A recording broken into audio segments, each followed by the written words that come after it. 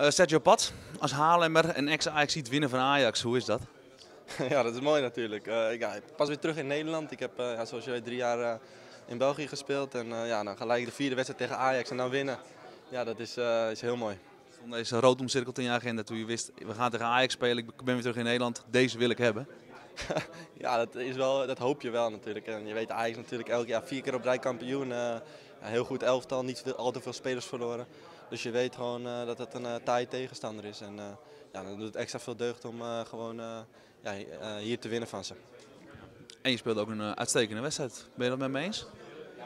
ja, natuurlijk tegen Ajax heb je ook de, de kans om, ja, om zulke wedstrijden te, te spelen. En ja, dat ging vandaag goed en ja, daar ben ik heel blij mee. En ja, met alle respect aan de andere klus, maar ja, dan is het soms wat moeilijker omdat wij dan de bovenliggende partij zijn. En ja, nu, is, nu was die kans daar en gelukkig heb ik hem gepakt.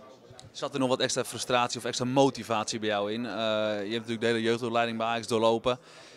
Je hebt net niet de stand naar de eerste elfte kunnen maken, er zijn natuurlijk redenen voor. Maar ik kan me heel goed voorstellen dat je denkt van ja, kom op, ik laat vandaag zien wat ik allemaal kan en wat Ajax heeft gemist aan me. Uiteindelijk heb ik uh, zelf gekozen voor de stap naar België. En uh, ja, Ajax wou wel mijn contract verlengen, maar ja, het perspectief met spelen als jonge jongen, dat ja, trok me meer om naar België te gaan.